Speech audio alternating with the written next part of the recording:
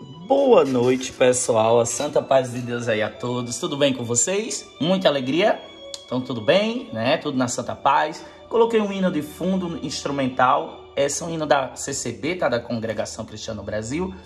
Para trazer aquela calma, trazer aquela paz durante essa aula. Isso aqui é um tapete de tir. O nome desse tecido aqui, ó, que parece rede, é tir. T-E-A-R. Tir. Tá? Ó, são maravilhosos para pintar. E aqui eu vou ensinar para você pintar sem precisar do risco, usando só a sua memória. Eu imagino, eu já crio dentro do, do meu, do meu cérebro uma imagem aqui, ó. Eu estou imaginando aqui um cacho de uva, né? Que eu vou fazer ele para cozinha, um cacho de uva com o girassol desse lado. Então aqui eu imagino uma linha já, ó. Uma linha, fazer aqui só um traço aonde vai se apoiar toda a minha pintura, né? Ó, então eu imagino aqui uma linha, pego a linha do meio, que é, ó, fiz aqui a linha do meio, a altura, né, que eu vou querer a minha pintura. Tá vendo? Eu quero dessa altura aqui, né, para ficar metade aqui metade aqui.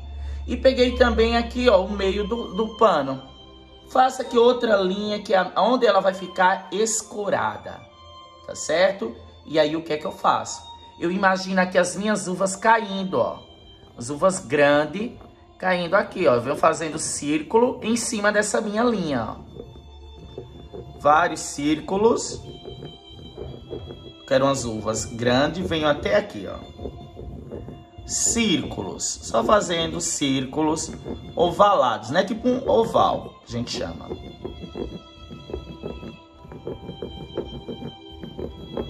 Ó, vou imaginando na minha cabeça aqui o cacho de uva caindo. Então ele vem maior e vai diminuindo, tipo um triângulo, né, gente, ó.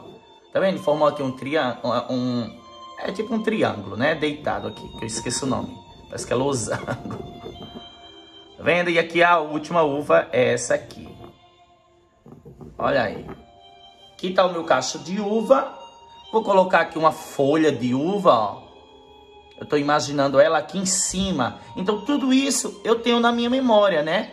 Já na minha memória fotográfica, como fica aqui a, a uva. Ó. E eu pego aqui e faço o lápis obedecer o que eu quero fazer. Ó. Folha da uva, né? A parreira, né? Parreira, né, gente? O nome? Vou segurar aqui.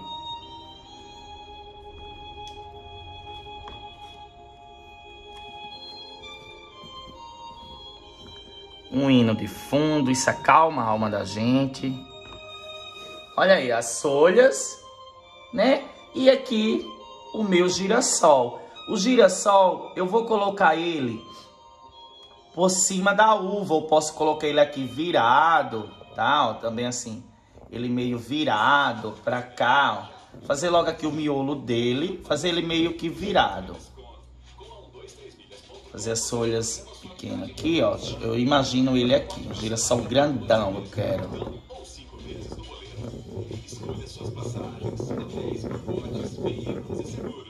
Olha aí. Aí vem aqui, né, as pétalas dele. Ó, tá vendo, ó?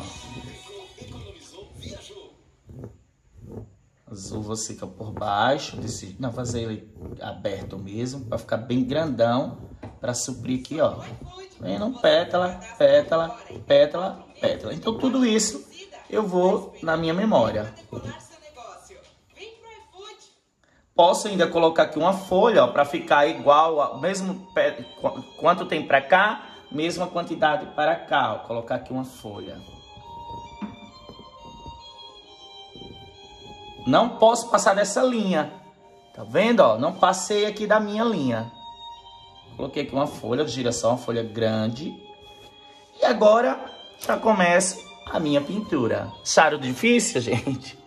Vendo assim é fácil, né, pessoal? Diga, é, professor, fazendo é fácil. Vamos lá pintar aqui comigo? Deixa eu pegar toda vez, e o que é que eu esqueço? Vocês até já sabem. Meu pano, pessoal. Pego aqui o meu pano céu já está na água, você deixa ele antes na água, tá? Caso você não vá pintar durante aquele dia, deixa ele um pouquinho no, no álcool para dar uma limpada naquela sujeira que fica.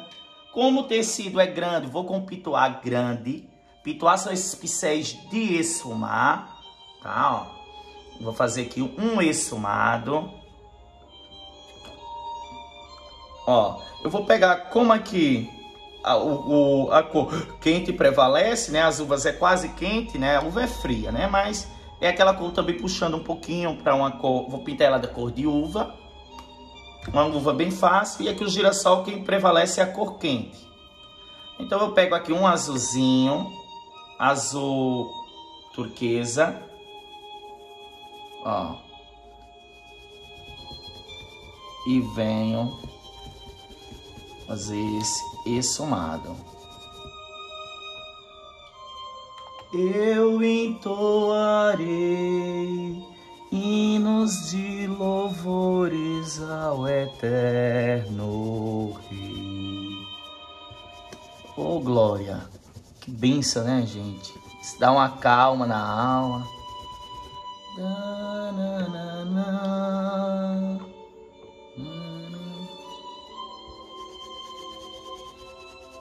Ó, pode tocar no objeto, tá, pessoal? Que aqui é só um esfumado.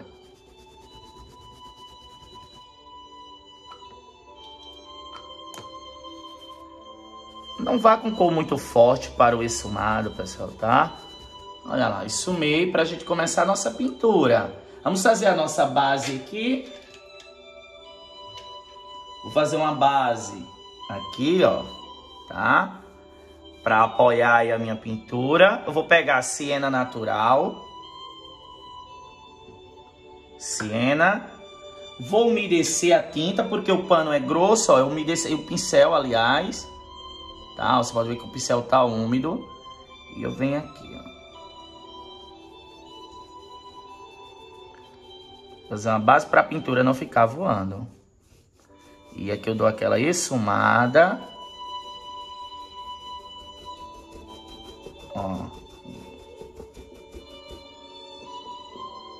Tá vendo? Não tenho dificuldade. Apesar que o tecido é grosso, mas não dá dificuldade. Eu dou umas entradas aqui. No pé do objeto é sempre mais grosso, tá, gente? Uma sorte.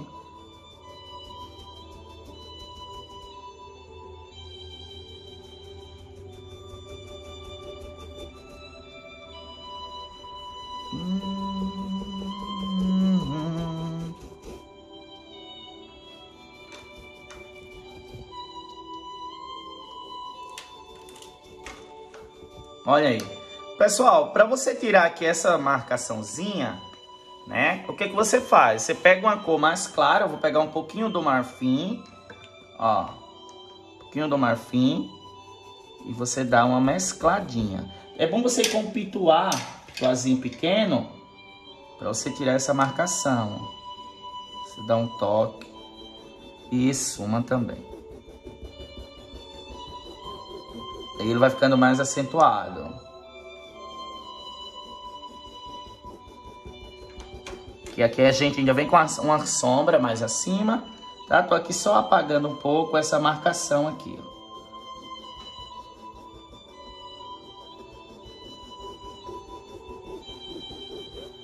E a gente esfrega um pouquinho forte. Que é, meu amor? Tá olhando pro computador. Ele tá ali olhando pro computador, tocando o hino, gatinho. Ó, vamos agora pegar um pouquinho aqui. Vou pegar um pouquinho do terra queimada, ou marrom, ou sépia, tá? E a gente dá aqui, ó, uma segunda sombra, certo? Porque sempre embaixo dos elementos tende a ser mais escuro, né? Uma sombra mais escura. Então eu pego aqui, no mesmo sentido, tá, pessoal? Nesse sentido.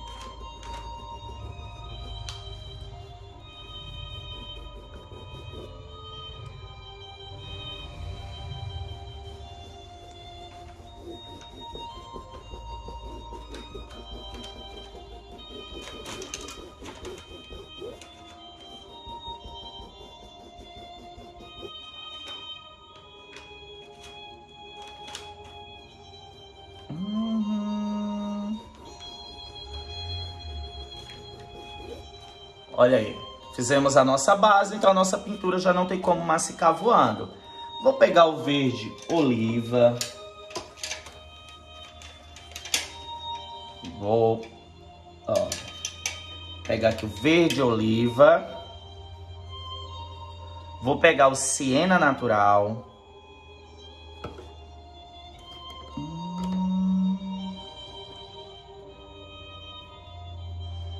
E cadê o, minha cor pistache, gente? Deixa eu achar ela aqui. Queria usar o verde pistache. Deixa eu ver se eu encontro ela aqui. Deixa eu ver se ela tá aqui abaixo, tá? Ó, pegar aqui o pistache. Vou fazer logo uma base de pistache nessas folhas, tá? Nessas aqui e também nessa. Pego um pituá, eu gosto muito de preencher com pituá.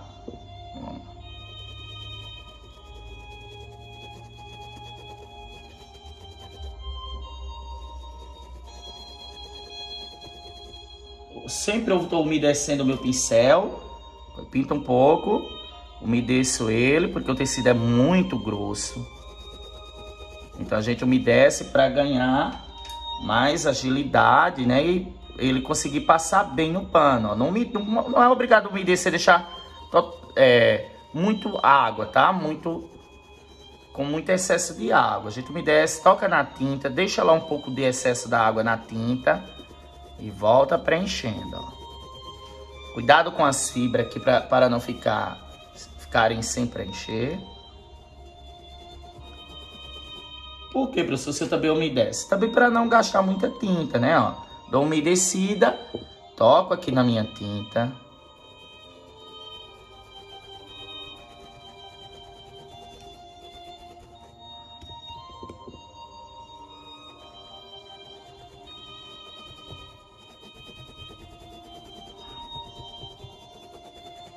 Olha lá.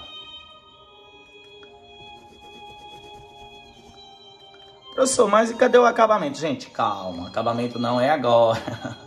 Vou passar já nessa aqui também, tá? Ó. Já vou passar nessa, que é uma pintura rápida, gente. Esses tapetes, o pessoal pinta aqui bem rápido também, porque produz muito, né? Vende bastante eles. Aí a gente procura uma pintura que seja rápida. Porque quem trabalha com produção, né? O pessoal que pinta bastante. Lá em Arapiraca eu vejo uns lindos pintados. Ó, aí pega agora verde oliva do lado de cima. Verde oliva lado superior, ó, lado de cima, faça a pontinha. Pincel número 12. Jogo para dentro. Agora eu já vou dando aqui arremate.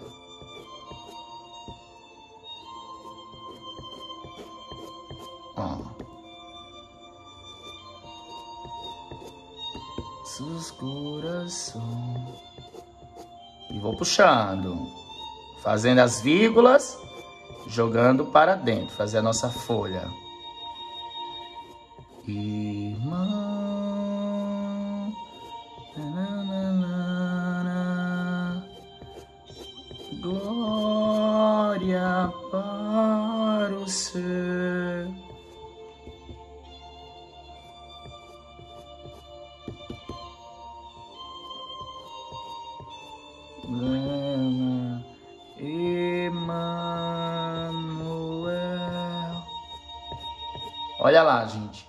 Aqui a mesma coisa. Essa aqui eu vou passar dos dois lados, ó. Pontinha. E eu venho fazer as voltas, ó. Para um lado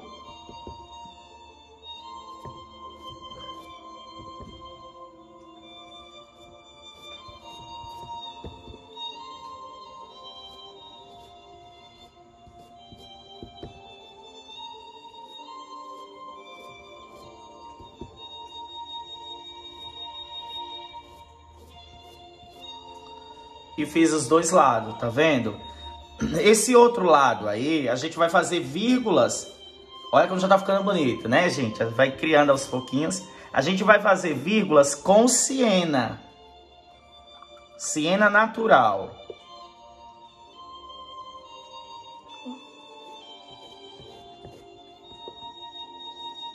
Para que ela fique um pouco envelhecida, tá? Um pouco mais amarelado, queimado para diferenciar da outra folha.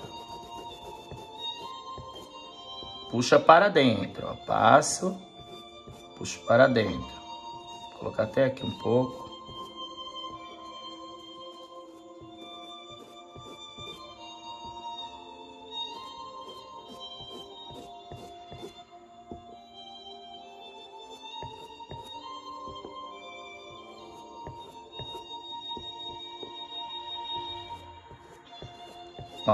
Puxando para dentro. Pronto, aí já finalizamos. As folhas vou dar só um leve toque de branco, tá? Para fazer aquele estilo mais gestual, na pintura mais simples. Ó, de um lado do pincel. E eu dou aqui uns toques. Ó, de um lado do pincel. Toco aqui, ó. E dou uns leves toques. Tá? Você querendo dar dos dois lados, ó. Você pode dar também os toques do outro lado, ó, ou só de um lado.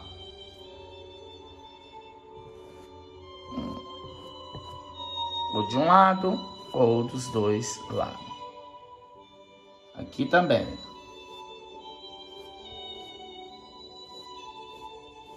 Com excesso, a gente já dá esse toque aí. Agora, feito isso, vamos lá para as nossas uvas, que eu vou pintar com uva e berinjela. Uma uva super rápida, super fácil. Pego aqui o meu pote de tinta uva. Ó, pego aqui, vou pegar o meu pincel molhado. Meu pincel aqui tá molhado, ó. Tirar um pouco de água dentro dela. Tá vendo? Um pouquinho de água para ela ficar mais, um inchado mais líquido. E eu preencho aqui, ó.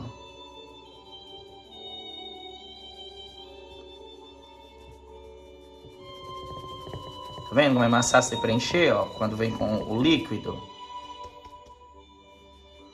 Uva, tá? Essa cor é cor uva.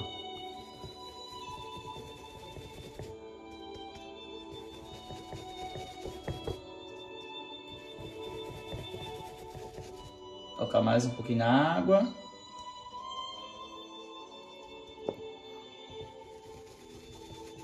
Precisa clareador, tá, gente? Nem diluente, já que ela é uma tinta à base de água.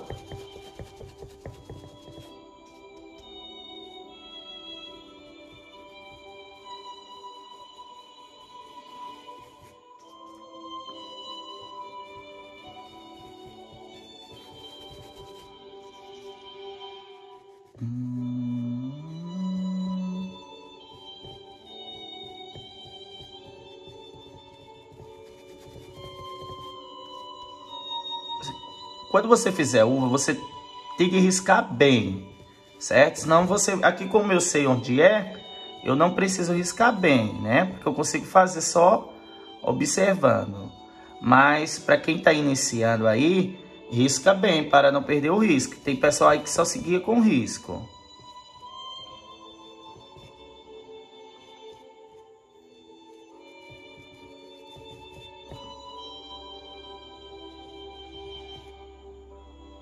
É umas uvas maiores, tá, gente? Por quê? Porque não é tão pequeno o pano, né? O, o, o tapete é grandão, então eu coloco umas uvas grandes.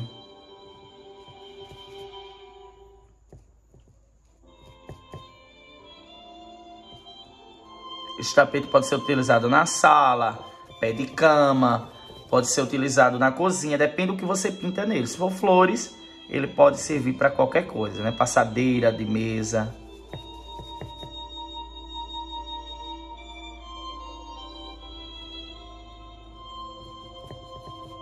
Gente, deixa aí o seu like, tá? É, curta aí o vídeo. Ativa o sininho. Tem um sininho aí no lado do, do, do nome se inscrever, né? O inscrito, que você já é inscrito. E você ativa esse sininho para que você não perca nenhuma aula minha. Senão depois o pessoal diz, ah, professor, não está postando aula. E tem muita aula aqui no meu canal, né? Deixe aí também o seu comentário se você gostou da aula, tá? Ou alguma mensagem, ou alguma dica. Olha aí, pessoal. Agora eu vou pegar o berinjela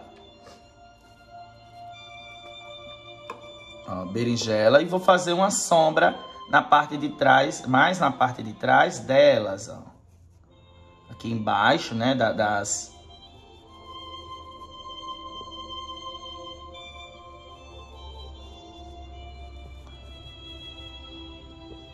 Vendo? Eu vou dando um espaço. E você já vai formando algumas, ó. Tá vendo? Fazendo uns entre meios. Aqui, com o mesmo pincel grandão, já vou fazendo aqui uns entre meio mais escuro. Tá vendo? Você já vai tipo que separando elas. Tem que ter noção aqui, mais ou menos do tamanho que vai ficar cada uma. E aí a gente vem meio que separando.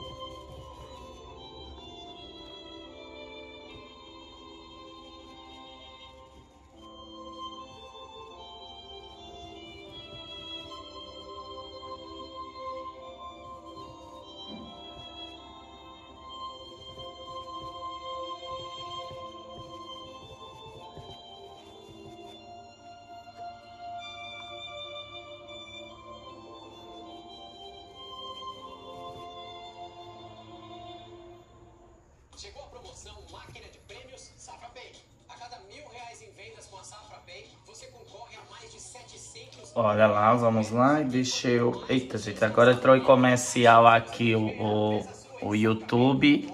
Pronto.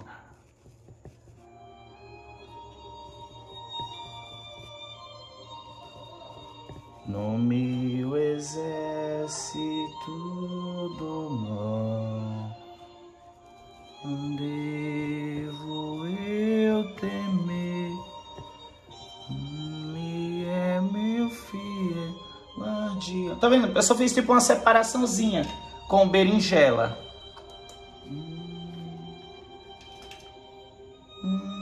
E agora, gente, eu pego branco, branco e um pouco, ó, branquinho, um pouquinho do azul celeste, tá? Branco. Toco na água também, ó, para deixar o branco mais mole. Pouquinho do azul celeste. Pouquinho, azul é pouco. Só para dar um reflexo na uva. E você mistura. Ah, deixa eu misturar aqui.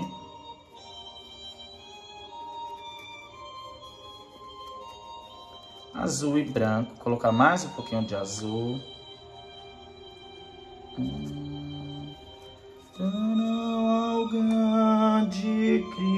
Criador, fraco. E naquela paz, a gente vai pintando com a ajuda do Papai do Céu. Ó, gente. Pego aqui e começo da de baixo, tá? Ó, da primeira de baixo. Vendo? Ó, quando você toca com o azul e o branco, ela já muda de cor. Ó, vendo? Aí eu jogo para um lado, jogo para o outro. Só o reflexo, gente, ó.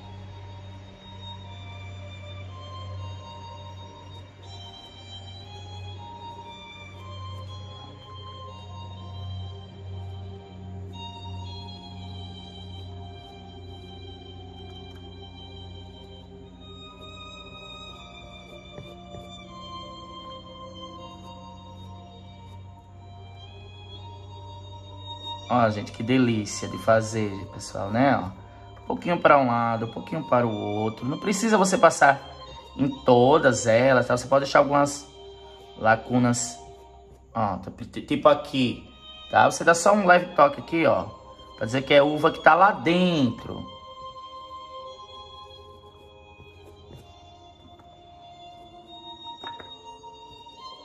E as uvas são grandes mesmo, tá? Porque o risco é maior. Você não vai fazer uma uva pequenininha num tapete desse tamanho.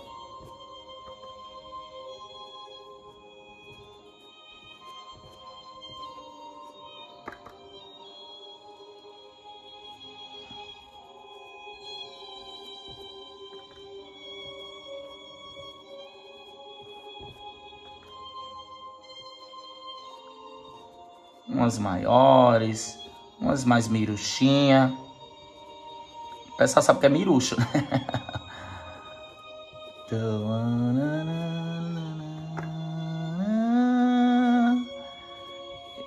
Pessoal, o certo é você começar daqui de baixo. Até eu tô pegando aqui em cima, mas é errado. Então depois a gente se perde, ó. Não tem como fazer a outra. Então pega elas por aqui por baixo. De baixo para cima. Faz umas maiores, umas menores. Cuidado para não fazer elas quadradas, né?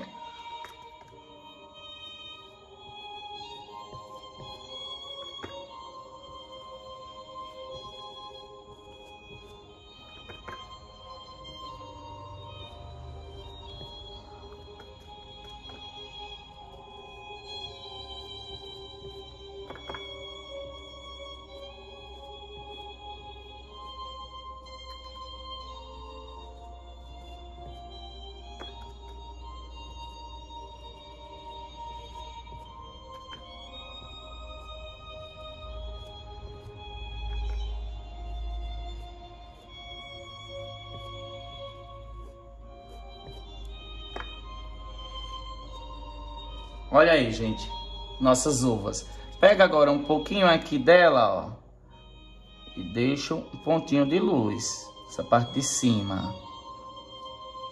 Ó, um ou dois pontinhos de luz nas nossas uvas.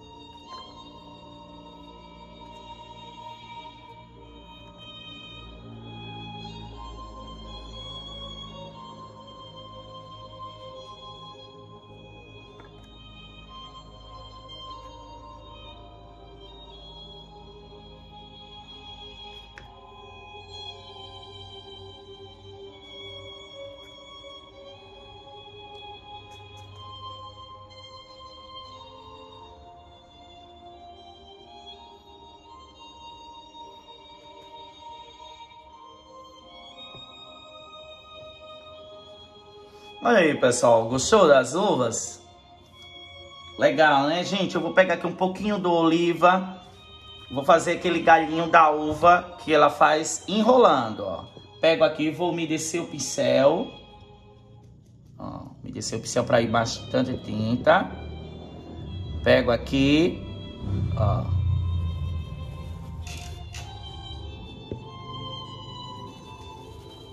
Pode ir com pincel macio.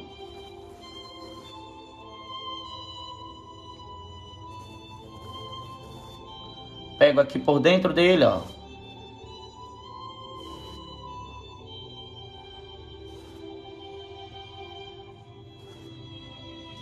Esquinha do branco. Pega um pituá. Deixa eu pegar aqui um pouquinho do branco. Já vamos para o girassol. Esquinha do branco, pituazinho. Dou uma batidinha aqui na, na, na tampa, tá? Uma batidinha aqui na tampa. E eu pego aqui, ó, e já vou dando aqui. Hum, deixa eu só baixar aqui porque tá em comercial.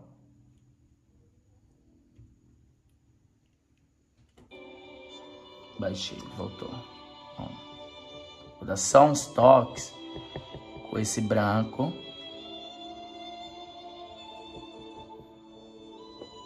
Só para dar um, um, uma diferenciada, tá, pessoal?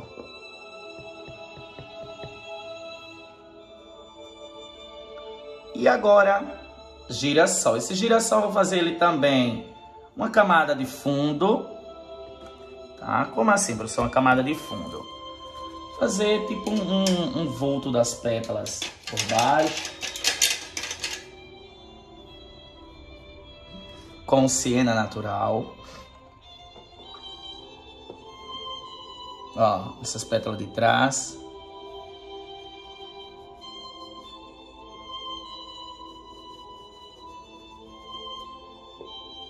Já vem aqui com um pouquinho do siena para dizer que ela tem profundidade, tá? Que aqui por trás tem outras camadas de pétala.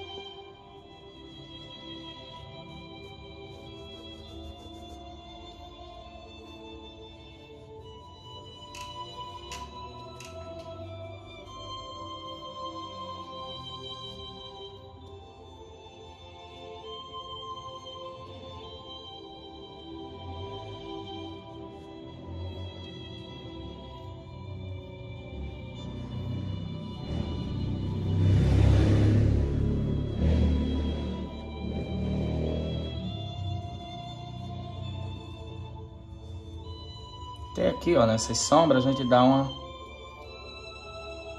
Olha que simples. Você vai ver, quando a gente finalizar ela, vai ficar linda.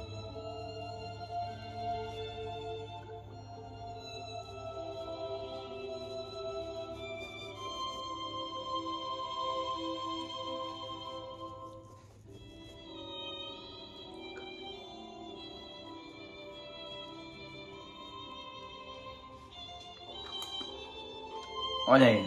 E qual cor eu vou pintar esse girassol? Poderia ser amarelo, pode ser amarelo, né? Poderia e pode ser, mas eu não quero meu girassol amarelo. Eu quero ele vermelho mesmo. Coloquei essa camada de, de, de sombra siena e eu venho com o meu vermelho, ó.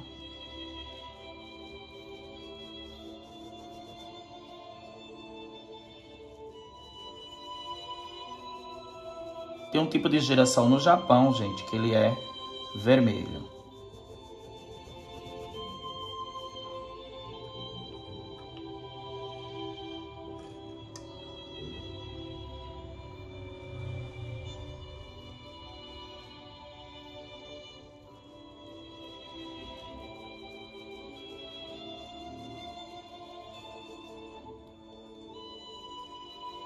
Organiza aqui as pétalas, né? Os formatos. Eita, cuidado aqui. toquei aqui. Quando toca assim, gente, você tem de limpar. Daqui a pouco eu passo um pouquinho do verde e resolve. Porque o meu, meu vermelho está um pouco líquido demais. Mas é dele mesmo, tá? Não foi o que coloquei água, não.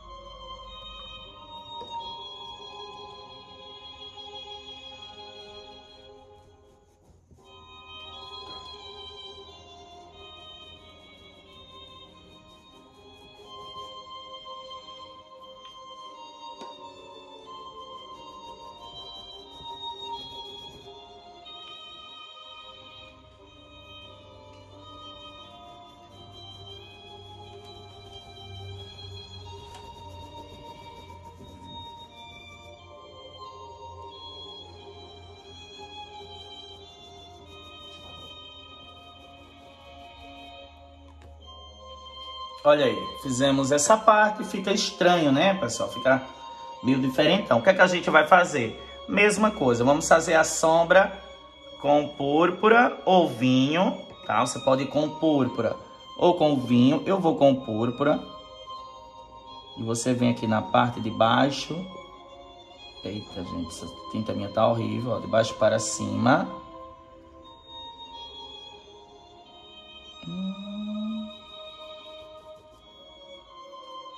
As minhas tintas estão vencendo.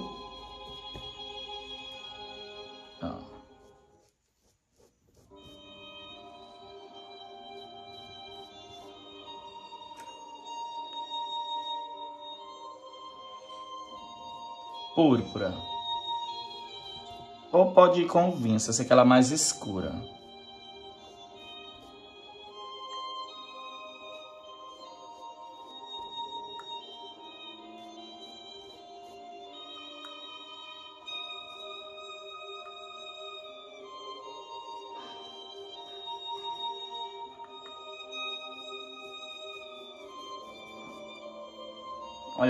Faço essa sombra e volto já dando o acabamento.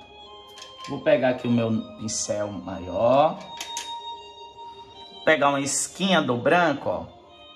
E eu vou dar uma apagada com o branco nessa sombra de baixo, tá? Ó. Vem aqui dando só uma organizada nelas.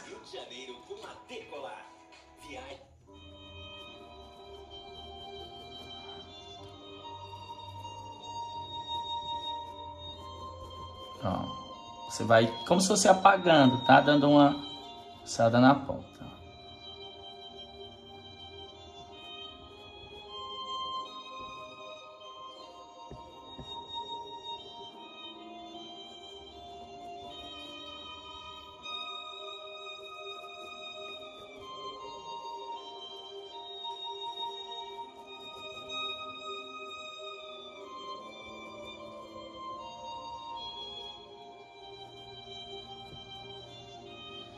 Olha aí, pessoal. Agora eu pego vermelho vivo, vermelho fluorescente no caso.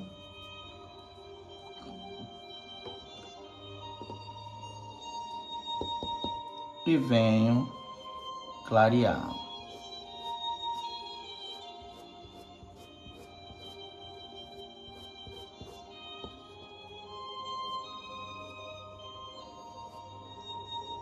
Jogo para baixo.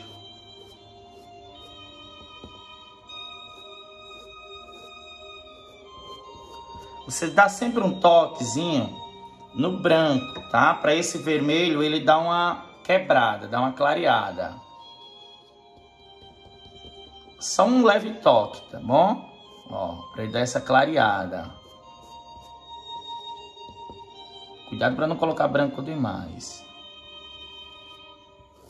joga para baixo.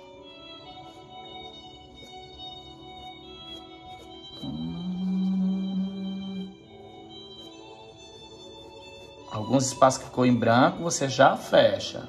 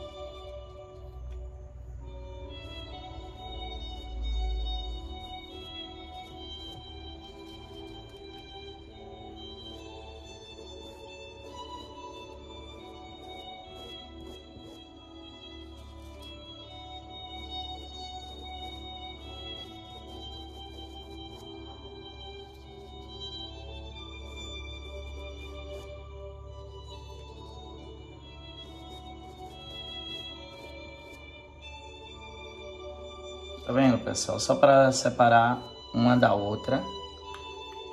E agora vamos dar o acabamento, né, no nosso girassol. O que vocês acharam desse tipo de girassol assim, né, diferentão? Vou dar um toque aqui com essa cor, o restinho ficou no pincel, só para dar uma quebrada ali. E agora eu pego o pituá, novamente siena natural,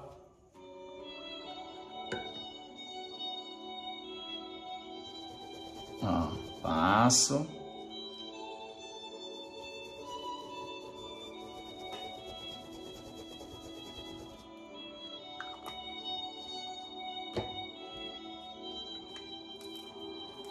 Verde oliva, ou oh, perdão, sépia. E vem aqui, ó. Tapando essas partes brancas. Só batendo, tá? Com batidinhas.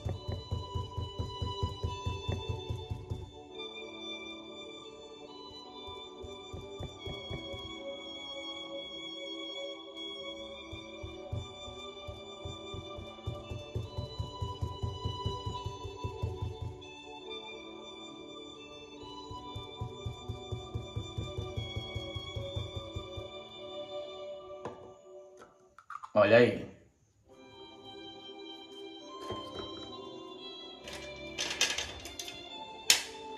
Vou pegar um pouquinho do amarelo limão.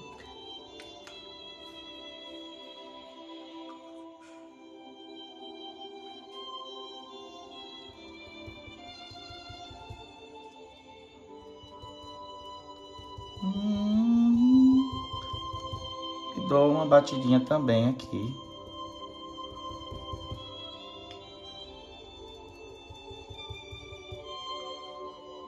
Nosso girassol, finalizando ele aí, pessoal.